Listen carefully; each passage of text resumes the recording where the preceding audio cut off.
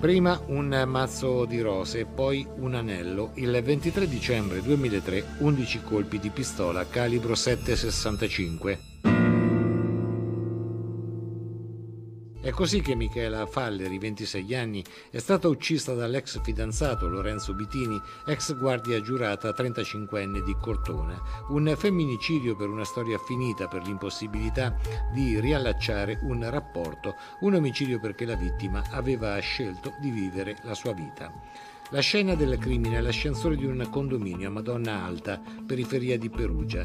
In quel condominio c'è il laboratorio fotografico dove Michela lavorava e dove Lorenzo lo andava a prendere quando erano una coppia di fidanzati. Poco dopo le 17 la ragazza conferma le sue scelte, l'uomo non le accetta, le considera un affronto e spara. Dopo l'omicidio fugge, i poliziotti della mobile lo catturano a Camucia. Al processo, con il rito abbreviato, l'imputato viene condannato dal giudice Paolo Micheli a 30 anni di carcere. Il PM Manuela Comodi aveva chiesto 27 anni.